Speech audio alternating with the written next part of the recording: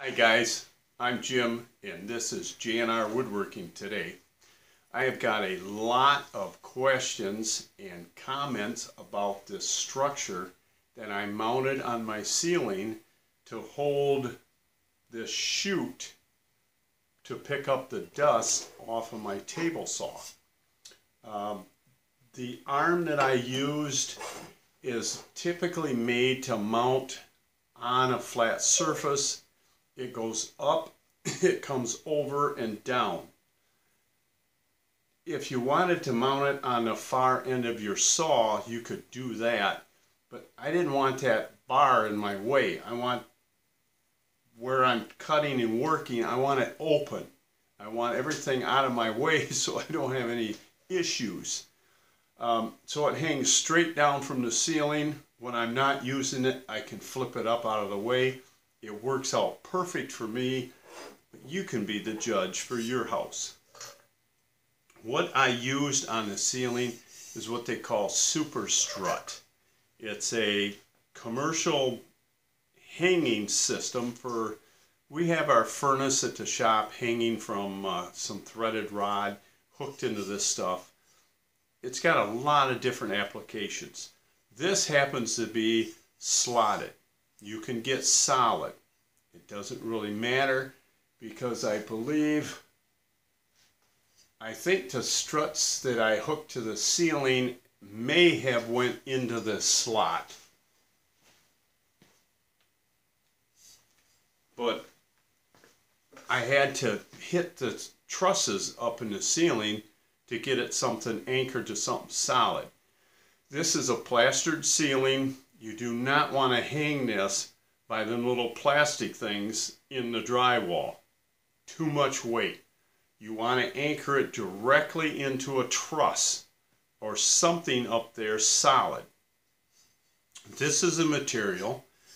The nuts that I used in the track system for it to slide I don't have any extra ones, but when I bought them, they're a quarter inch uh, threaded hole, and it's about, know if I can find a scale here.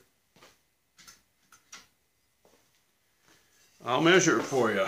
It's an inch and three eighths square piece of steel that just slides in here freely. There's different ones you can get. Some have springs on them so they'll position and stay in place for you while you're holding something heavy and trying to get the, the bolt started in this nut. These are just square, they're quarter inch thick with a quarter 20 hole tapped in. And they slide in here pretty nice. Well, once in a while it gets bound up, but I don't move it a lot. The arm system that's hanging down is from Rockler's. And this particular piece, it has a, I don't even know what you want to call this. It's got teeth on it, so when you bolt it to the mating piece, it won't swing down on you. It stays locked in there. This piece you don't need. I took it off and stuck it on my shelf over there and it'll probably sit there for the next who knows how long unless I cut this up and make something out of it now that I have a welder. hey, there's a thought. So let me spin this camera around. I, it's going to be hard to show you this because it's on the ceiling, but I'll do the best I can. This is the arm. I'm probably too close. Let me move the camera.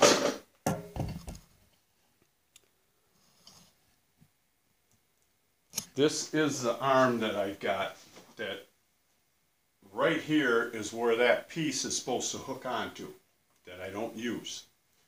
You can loosen this and slide this up and down wherever as close to the saw blade as you want or as far away. This one here you can loosen up and you can swing the whole thing out of the way and lock it up facing the ceiling. it's pretty easy to maneuver it by just the way it's made. and I'm using just four inch flex pipe. Um, I don't know, I can't remember where I bought that from, to tell you the truth. I'd really have to look it up, but I'm sure Rockler's sells the same stuff. It came in a 50 foot long piece, and I just cut it up the size I need it. I've got it all over the shop, coming down from my ductwork from the ceiling, going down to the machines. The ductwork that I use, you, know, you can see one piece over here if I move this camera, is on the wall over there. I use all metal pipe. I do not recommend using 4 inch PVC pipe. When you get the sawdust flying through that pipe, it's going to create static in a lot of it. That can cause an explosion. A lot of people have ran wires down through the center of the pipe. That's not a good idea because if you get enough static buildup in there, it'll arc to that wire and it's going to cause a spark. I've had one guy I watch, he went every two foot down his plastic pipe on this whole system and he drilled a hole and he screwed a screw in there, just barely sticking in. Then he hooked electrical wire to all them screws. Again, if it grounds out to static, it can cause a spark. Best thing to use is steel pipe. This stuff, it has a wire inside of it. When you use this, you cut it back and you leave the wire a little long. You crimp an electrical connector onto that and you screw it to the pipe. That grounds all of this and takes care of the static. Enough on that. let me try to get you up here and show you what I did. This is going to be interesting. I'm going to try to hold this by hand. Right up in here is the square nuts I was telling you about, and I screwed a quarter inch bolt into them. Now you want to put some Loctite on that bolt so it doesn't vibrate and come out. Once you get it set to the right depth, you don't want to screw it in so far it hits the top of the strut. It won't slide good. Just screw it in so it's snug. You can see this is loose. And put some Loctite on it. This board is on here because without that, when you try to move this, this side or the other side will move first and it it twists it and then it locks up and it won't slide. This board is just in there to keep these two rails parallel with each other so it'll slide good. And I did the same thing onto this and it, it slides pretty good. You don't want it real loose so it's going to move around on you, but yet you want it so it moves when you want it to. Now the reason mine is mounted the way it is with the rails, oh boy, it's really hard to see this. With these rails going the long way across the saw is down here at the bottom on my old table saw, my router was mounted in the wing on the saw. So I wanted this thing to slide from the blade over top of the router, which worked good until I bought a new saw. This saw has a very nice ground cast iron wing that I just couldn't drill a hole in to mount my router. Plus, if you looked under, that's where the motor is hanging out. And it comes out to within about a five inch strip of the wing. So it was impossible to put it in there anyway. So now I mounted the router at the other end of the outfeed table. So eventually I have to turn these two struts so I can slide this from the blade over to the router. I just haven't got around to that yet. And to mount the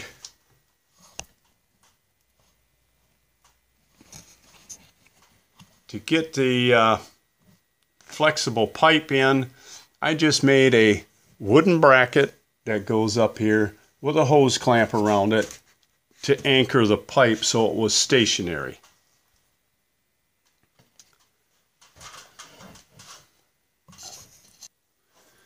Okay, I, I took the light down to get it out of your way so you could see the, the structure a little better.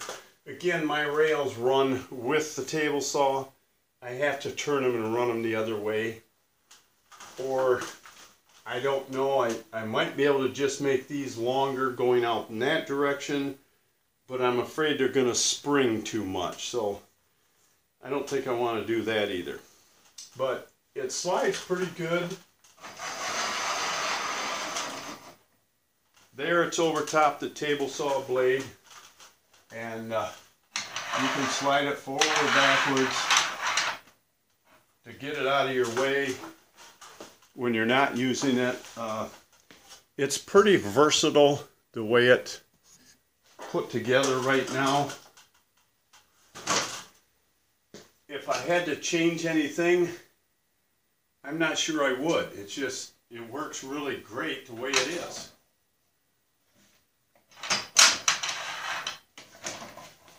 And then when I'm not using it, I just swing it up there like that and, whoops, that's not usually hanging there. Then the, uh, the saw is clear and I, I've got probably, well, I could tie that up a little higher. I probably got two foot from the top of the saw where it's all open.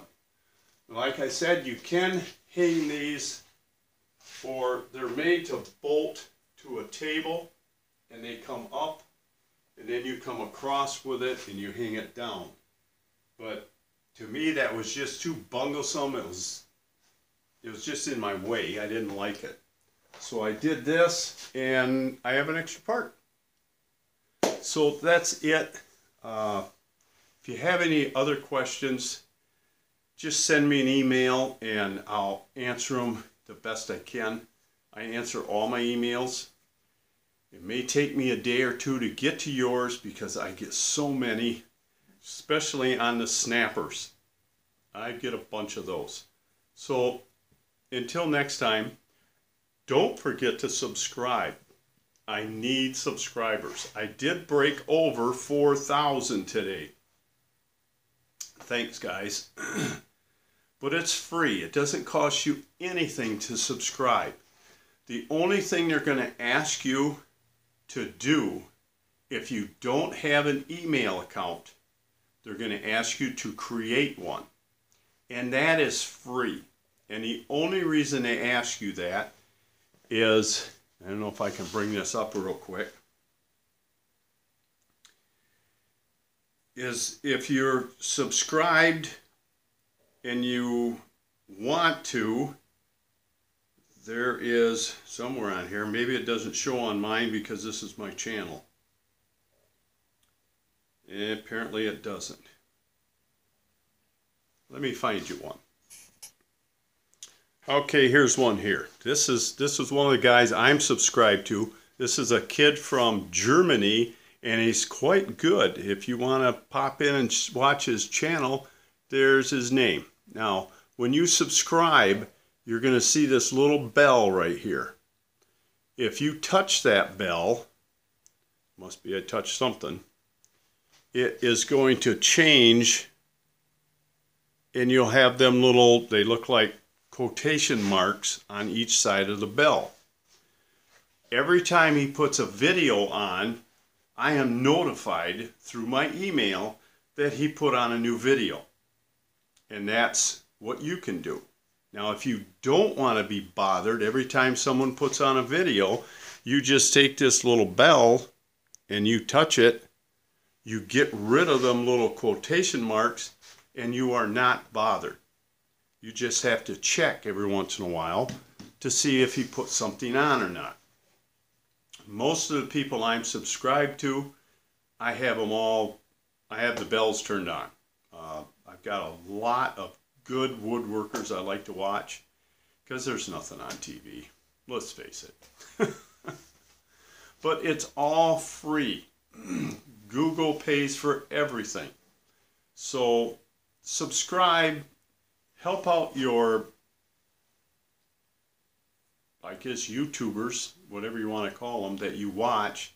Because eventually, if you get enough subscribers, they start putting commercials on your videos.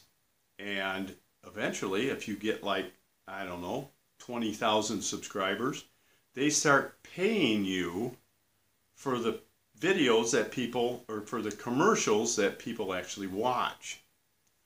Uh, I haven't really seen anything yet on that, but I've only got 4,000 subscribers. So again, if, if you enjoy what you're watching, push that little button and subscribe. Until next time, work safe, have fun, suck up some of that darn dust, and we'll talk to you soon.